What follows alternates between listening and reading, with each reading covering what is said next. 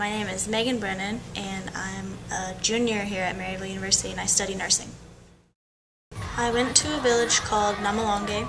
It's about an hour from Kampala, which is the capital of Uganda. I worked in a clinic. I worked with kids and I worked with pregnant mothers. I gave a lot of vaccinations, which the kids weren't happy about. I examined the pregnant women and then I tested for HIV. Now, I've never been outside of America at all. I knew it was it was time for me to see something else and to experience something that really changes you. And this was the perfect thing. My favorite moment without a doubt for the whole trip was during a prenatal examination. Um, I was palpating the abdomen and I was feeling for the position of the baby and I thought I felt the head at the top so I was like well that's weird.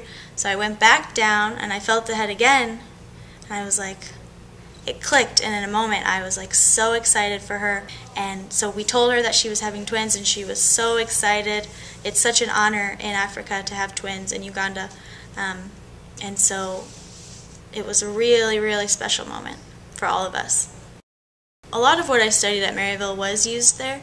All of the you know the basic classes about anatomy and the drugs all my nursing classes really did apply the shots. I wouldn't have had any idea how to do that without my classes. Testing the patients for HIV really was a surreal experience because it's something you hear about, it's something you know is going to be there, but when you test a pregnant mother or you test a one year old child for HIV and it's positive, it really takes a minute to sink in that this this is going to kill them this baby had no choice, was born with this, and here I am to tell them. Yeah, it's really sad.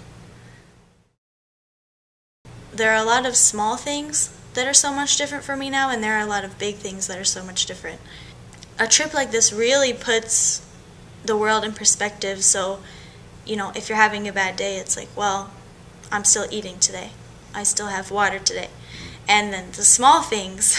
You've never appreciated a toilet so much in your life than when you go to Africa, or ice, or our sinks. We flip a switch and we have so much water, and these people walk for miles to fill up these buckets and carry them back on their heads. So the fact that I had free education through high school and that now I'm at a university where I have books and I have great teachers and it's really something I think everyone needs to to know or you know see because it really changes your life. It does. Now look this look this way. Now you stay the arms have to stay like this. You stay tukube